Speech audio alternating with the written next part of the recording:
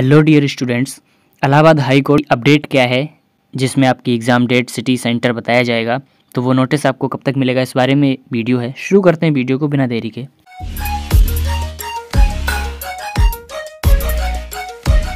Update ये है कि ड्राइवर का एग्ज़ाम 10 दिसंबर को कंप्लीट हो चुका है। उसके बाद स्टेनोग्राफर का 11 दिसंबर यानी संडे को कंप्लीट हो चुका है। ग्रुप डी और ग्रुप सी बचे हुए हैं।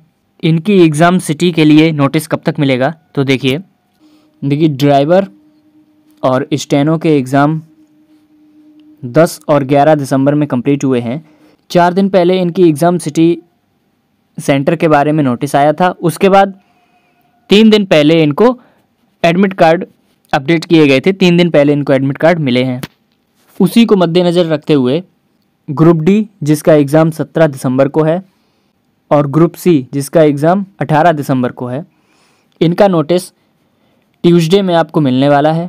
ट्यूसडे का मतलब है थर्टीन ऑफ़ दिसंबर तेरह दिसंबर को इसका एग्ज़ाम सिटी सेंटर का नोटिस मिलने वाला है। उसके बाद एडमिट कार्ड की अगर हम बात करें फोर्टीन दिसंबर को मिल जाएगा। ग्रुप डी के लिए एडमिट कार्ड तो फोर्टीन दिसंबर को मिल जाएगा। हो सकता है ग्रुप सी का मिले पंद्रह को। तो यही आज की अपडेट है। बाकी अगर आप लोग तैयारी कर रहे हैं तो एक बार प्लेलिस्ट ज़रूर देख लें चैनल की। ऑल द बेस्ट आपके एग्ज़ाम के लिए, ध्यान रखें। बाय